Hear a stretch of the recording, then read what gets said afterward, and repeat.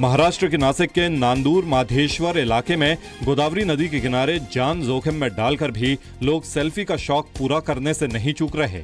भारी बारिश की वजह से गोदावरी नदी उफान पर है। इसके बावजूद कुछ लोग पानी की ऊँची उठती लहरों के बीच पुल पर खड़े होकर सेल्फी ले रहे हैं। जम्मू कश्मीर के झज्जर नाला इलाके में एक टैंकर बाढ़ की चपेट में आ गया। ड्राइवर टैंकर को धोने के लिए नदी पर पहुँचा था, लेकिन जम्मू में हो रही तेज बारिश की वजह से अचानक नदी का जलस्तर बढ़ गया और देखते ही देखते टैंकर नदी के बहाव में बहने लगा। पुलिस ने स्थानीय लोगों के साथ मिलकर कड़ी मशक्कत के बाद ड्राइवर को सुरक्षित बचा लिया।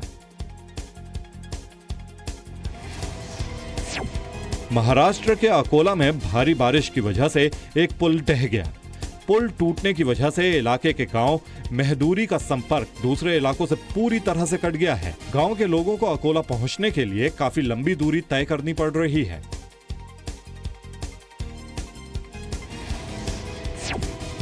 पश्चिम बंगाल में भी भारी बारिश की वजह से कई इलाके बाढ़ की चपेट में आ गए हैं।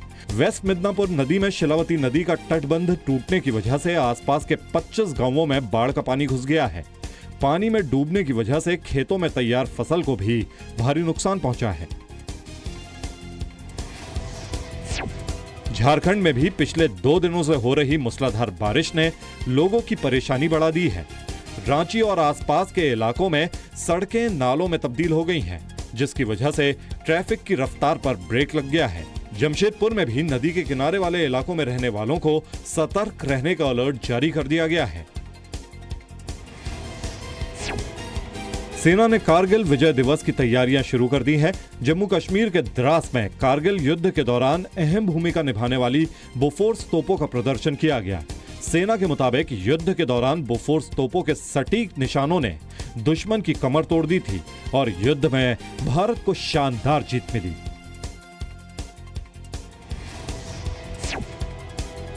महाराष्ट्र के कल्याण में आधारवाड़ी जेल से दो कैदी दीवार फांद कर फरार हो गए। फिल्मी अंदाज में जेल से भागने की तस्वीरें जेल में लगे सीसीटीवी कैमरे में रिकॉर्ड हो गईं। कैदियों ने दीवार पर लगे सीसीटीवी कैमरों की तार के सहारे दीवार फांदी। जेल प्रशासन ने मामले की जाँच का आदेश दे दिया है।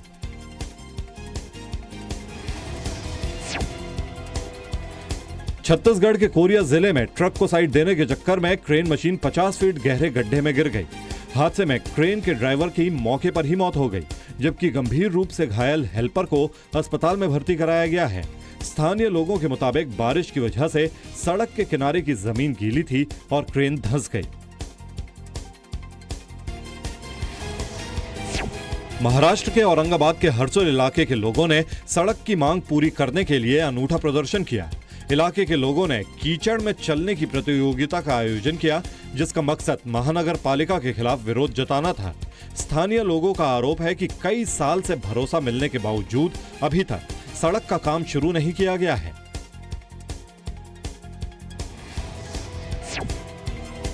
हैदराबाद के सैनिकपुरी इलाके में छियासठ साल के बुज़ुर्ग ने सड़क पर बने गड्ढों को भरने की पहल शुरू की है। उनकी इस पहल में स्थानीय लोग बढ़ चढ़ कर मदद कर रहे हैं। स्थानीय लोगों के मुताबिक, कई बार शिकायत के बावजूद प्रशासन ने गड्ढे भरने का काम शुरू नहीं किया, जिसके बाद खुद ही लोगों ने इसके लिए पहल शुरू कर दी।